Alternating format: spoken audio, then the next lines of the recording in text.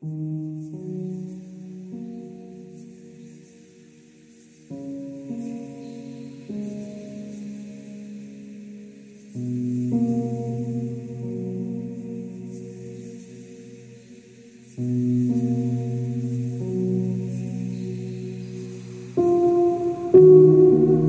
went through the average door. Really? Yeah. Oh my god. Yeah.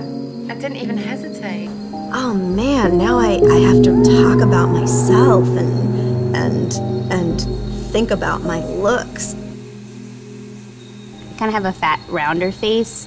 The older I've gotten, the more freckles I've gotten. My big hips, I find it quite difficult to wear tight-fitting clothes. My thighs, I don't have that hourglass figure, so I'm, I'm pretty, you know, square.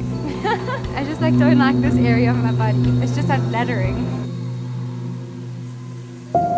She's such a beautiful, gorgeous girl. She has beautiful energy. She's just a wonderful person. We started talking about boys, and I'm like, so, you know, is there anybody on the horizon? And she's like, I don't know. I don't think I'm attractive. I'm like, what are you talking about? You're like freaking gorgeous. And she's like, I don't think I'm attractive to men because I'm too skinny and I'm flat chested. And I, I just had to stop her for a second, be like, what? Are you are you serious about this? She's like, I don't think I'm sexy. I'm like, you gotta be joking me. I think it definitely drops their self-confidence and um, really puts them down because during that time they're already trying to figure themselves out.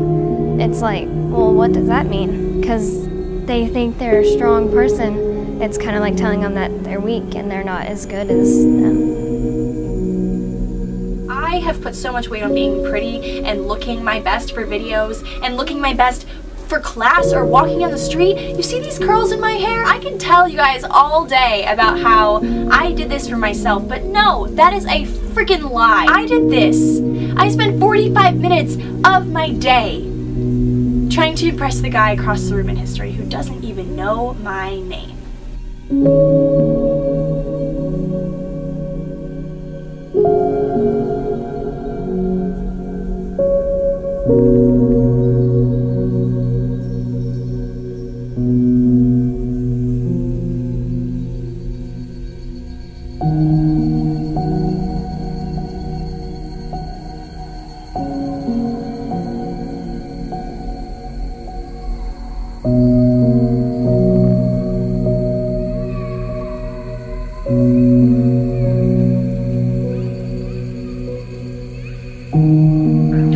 Oh my god! How are you?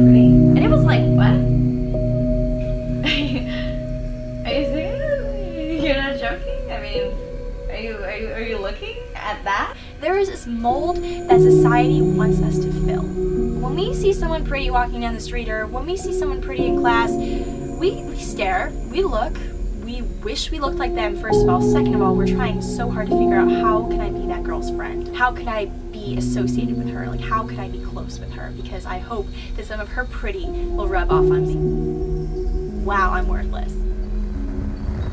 Wow, no one likes me. Only reason that you feel that way is because no one's had the guts to tell you how awesome you are.